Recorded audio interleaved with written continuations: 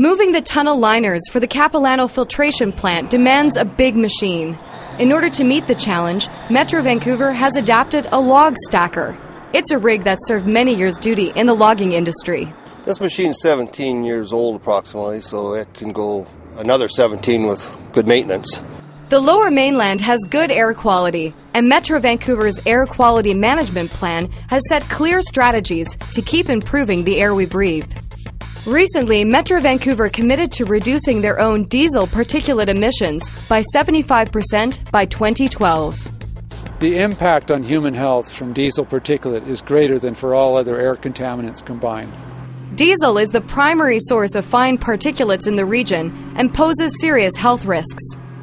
70% of that increased risk of cancer from air pollution can be attributed to diesel exhaust. There are other sources of air pollution, but that's the single most important source that contributes to our increased risk of cancer.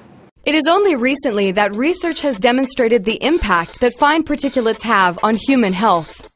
Health officials now are much more concerned about those very fine particulates because we know uh, that they can get deep into the lungs because they escape the normal mechanisms of clearance of the human body, and because a lot of studies have now shown they're associated with both short term serious health effects but also long term effects such as risk for lung cancer.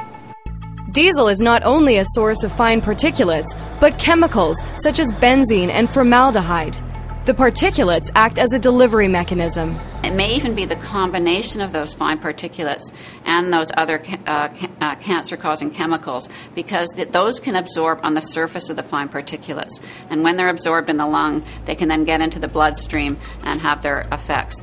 But the primary source of these diesel fine particulates is not the vehicles you see on the road. Modern emission standards mean that road vehicles are extremely clean, it is non road vehicles that are the problem. And due to the longevity of these vehicles, it is a problem that isn't going away soon. The thing about diesel machines is they can be rebuilt and they can last for 30 years or more, no problem at all. This longevity means that non road diesel engines won't be replaced quickly, and some regulation will be needed to protect public health. The only regulations that exist are for emissions from new machines. And unfortunately, most of the equipment that is being used in the constructions and uh, other industrial sectors is, is old, and a lot of it predates any emission standards whatsoever. Diesel emissions come from many sources, but marine and non road engines are the biggest contributors in the Metro Vancouver region. 41% of diesel particulate matter comes from non road engines. 43% comes from marine engines. Rail and road diesel engines each contribute 8%. But due to the proximity of non road engines to people, this source of diesel is the greatest threat to human health. Marine diesel is being addressed by federal agencies, but the jurisdiction for non road vehicles lies with Metro Vancouver.